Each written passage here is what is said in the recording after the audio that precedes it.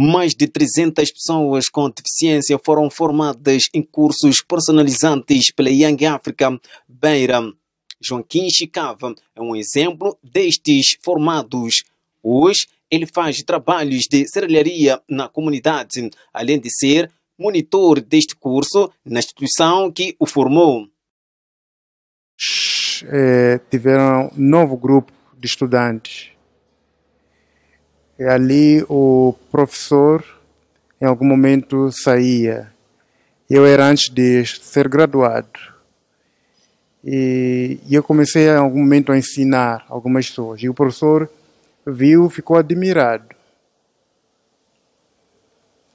E em algum momento, nesta admiração, ele aproveitou promovendo a minha pessoa, mas era antes de eu estar graduado. Os formados de escava dizem que conseguem perceber o que ele explica, mesmo usando uma língua diferente. Os princípios têm sido complicados, mas andado o tempo tem sido fácil porque ele nos facilita através dos gestos. Como ele, ele fala um bocado, né? E aí dia a dia você acaba aprendendo. Sabemos como entender da coisa que ele explica e coisa que ele vai nos dizer. Ele fala com giz, às vezes, quando nós estamos, nós estamos a precisar algumas coisas. Ele fala uma, uma coisa certa, mas coisa errada.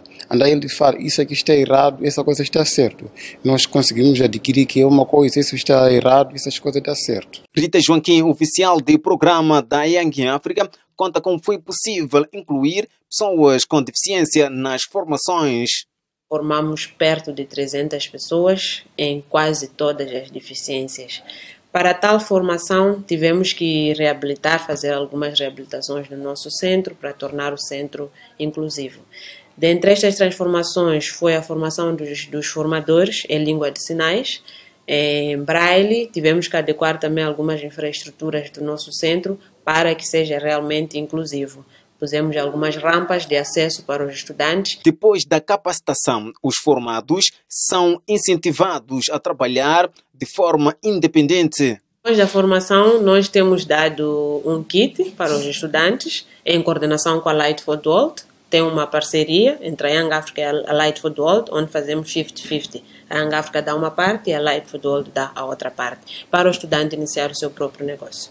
Em 2018, a Light for the World e Young Africa receberam em Áustria um prêmio de reconhecimento pelo trabalho que desenvolve na área de educação inclusiva. Estas duas instituições trabalham com financiamento da União Europeia.